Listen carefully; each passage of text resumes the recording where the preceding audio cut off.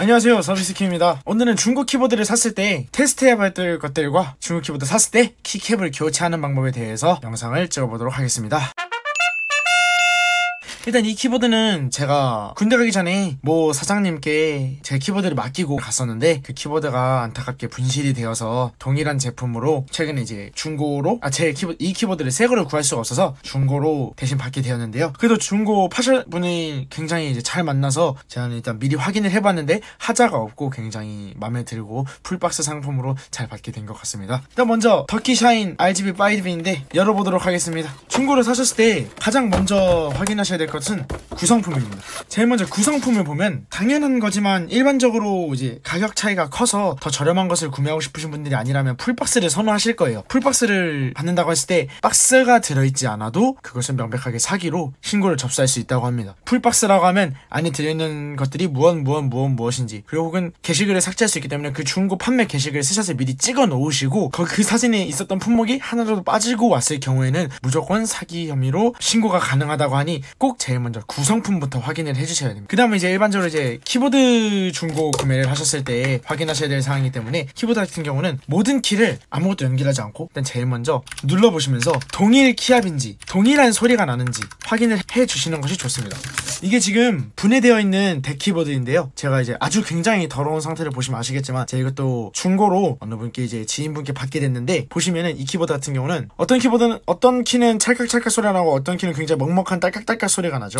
이런 게 아마 원품의 소리였을 겁니다. 근데 이렇게 낮은 소리가 나는 것도 있고 이렇게 먹먹한 소리가 나는 제품도 있습니다. 이런 것들은 대부분 콜라나 커피 등을 흘린 제품이었을 가능성이 높아요. 그러면 이제 그게 축 안으로 스며들어가서 끈적끈적해져서 이런 안 좋은 소리가 나게 되는 경우인데 이런 것을 제일 먼저 확인해 보셔야 하고 또 방금 전의 과정과 굉장히 유사한 것을 찾아내기 위함이지만 냄새를 맡아보시는 게 중요합니다. 이게 냄새를 왜 맡아보냐 하실 수도 있는데 일단 물냄새가 나는 키보드들이 있어요. 그런 거는 이제 행주 같은 행주 빨고 안 말린 냄새라고 생각하시면 쉬운데 그 냄새 나는 키보드는 100% 손으로 물을 흘린 겁니다. 물을 흘리고 키캡 다 뽑아놓고 말리면은 엔간하면 키보드 다시 작동을 해요. 바로 뽑고 물을 뿌리고 물을 엎질렀는데 키보드를 바로 뽑고 바로 건조를 시키면 엔간하면 다 작동을 합니다. 근데 안에서는 아마 부식이 되어 일어나고 있을 가능성이 굉장히 높겠죠. 그런 키보드를 구매하지 않으시려면 물 냄새 혹은 음료가 스며들지 않는지 음료 냄새를 맡아보시는 것이 굉장히 중요합니다. 그리고 세 번째는 이 키보드들 키가 실제로 입력이 잘 되는지 테스트해보는 프로그램이 있어요. 그 프로그램은 제가 이제 영상 캡처를 통해서 같이 영상에 첨부해드리기로 하고 이제 keycap을 변 변경하는 법부터 먼저 이제 촬영에 들어가도록 하겠습니다.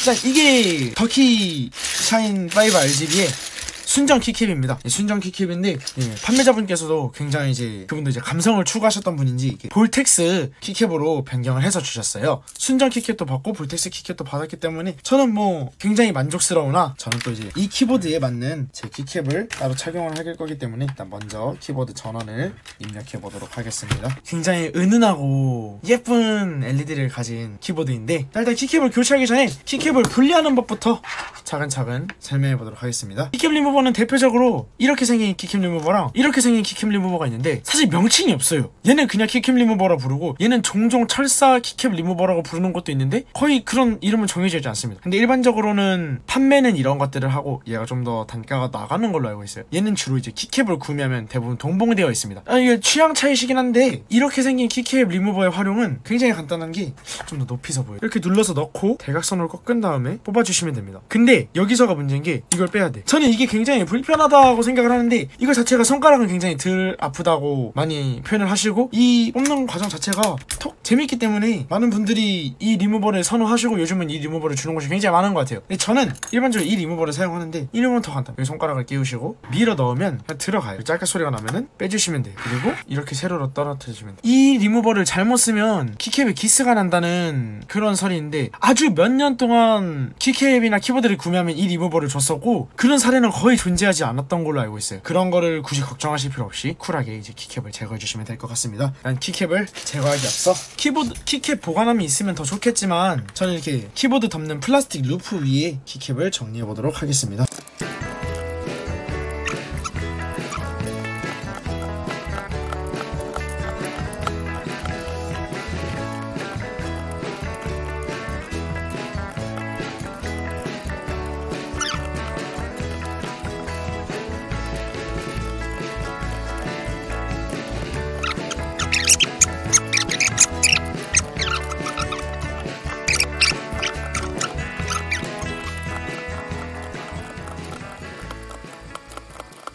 제가 재보진 않았지만 이만큼 keycap을 제거하는데 5분 이하의 시간이 걸리는 건 확실한 것 같아요. 뭐 여러분들도 이건 진짜 어렵지 않은 작업이니까 쑥쑥 해나실 거다 보면은 금방 하실 거로 생각이 됩니다. 그래서 이제 방향키하고 스페이스바를 놨던 이유는 스페이스바나 엔터같이 긴 키들은 이런 축 옆에 stabilizer라는 게 존재해요. 가끔씩 keycap을 뽑으시다가 이걸 너무 세게 뽑으셔서 확 빼서 스테빌이 같이 빠지는 경우가 있는데 물론 Cherry식 스테빌은 잘 안 빠지긴 하지만 가능하면 조심하는 것이 좋기 때문에 일단 가운데 축이 있기 때문에 가운데 쪽에서 리무버를 꽂고 아주 살짝 뽑아내면은 철사가 있는 모델이든 없는 모델이든 가운데 축에 먼저 빠지고 양쪽에 걸리게 되는데 그 그냥 편하게 빼내시면 손을 사용하시고 아까처럼 이렇게 쑥쑥 이렇게 뽑아버리시면 안 된다는 거? 방향키 4개가 사실 방향이 다 달라요. 같은 모양을 한 키보드들이 종종 있습니다. 이제 그런 것들을 방지하려면 미리 4개를 모양에 딱딱 맞춰서 내려놓아 주셔야 돼요. 이게 특히 다른 키보드가 없으신 분들이나 잘 모르시는 분들은 그냥 막 쏟아놨다가 뭐 키키 뭐 방향키니까 방향키 넣었는데 어색한 건 느껴지는데 못 찾으시는 분들이 계세요. 그게 다 이제 방향을 잘못 끼우셔서 그런 겁니다 그리고 일단 제일 중요한 게 저는 보여드리기 위해 이렇게 한 번에 keycap을 뺀 거지 가장 좋은 방법은 주로 새로 산 keycap은 이런 함에 들어있을 겁니다. 하나 뽑고 하나 갈고 다시 여기다 넣고. 이게 가장 편하고 좋습니다. 시간은 조금 더 오래 걸리지만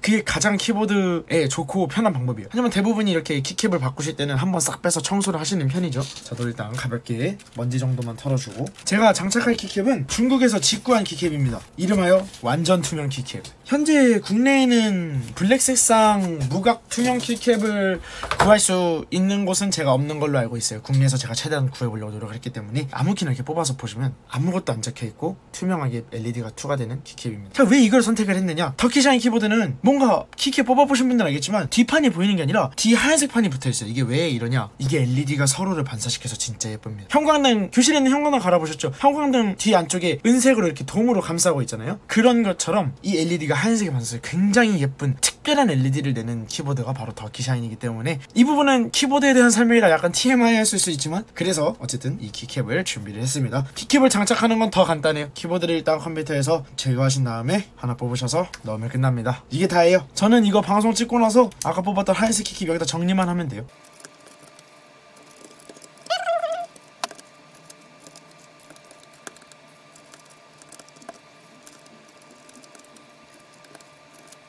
자 서비스킨 어? 이번 영상 왜 별것도 없으면서 이렇게 길어? 이게 뭐야? 이렇게 말씀하실 수도 있는데 이게 사실 그게 아니라 keycap을 따로 받았기 때문에 keycap이 하나하나 잘 들었는지 확인을 해봐야 된다.